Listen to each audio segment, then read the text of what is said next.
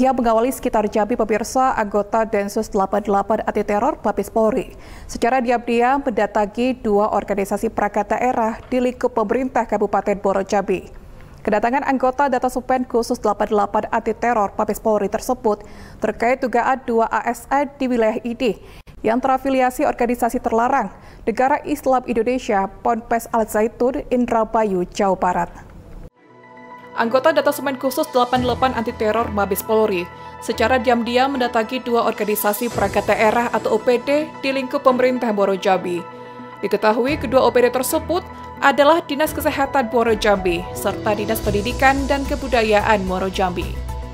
Kedatangan Densus 88 anti teror tersebut terkait dugaan adanya dua orang aparatur sipil negara atau ASN yang terafiliasi sebagai anggota dari organisasi terlarang Negara Islam Indonesia atau NII, Panji Gumilang, pimpinan Pondok Pesantren Al Zaitun Indramayu, Jawa Barat. Menurut Kepala Kantor Kesbangpol dan Linmas Boro Jambi, Kemas Ismail Azim mengatakan, dirinya membenarkan kedatangan sejumlah anggota Densus 88 anti teror di dua kantor dinas tersebut. Selain itu, Kumas juga menjelaskan bahwa kedua ASN tersebut juga mengakui mempunyai anak yang belajar di Ponpes Al Zaitun. Pimpinan Panji bilang, namun anak tersebut kini telah tabat dan hendak melanjutkan ke perguruan tinggi. Jadi uh, dua SN ini kami selaku Kesbangpol mendapatkan data dari Densus 88 ada dua orang ASN yang terafiliasi organisasi terlarang.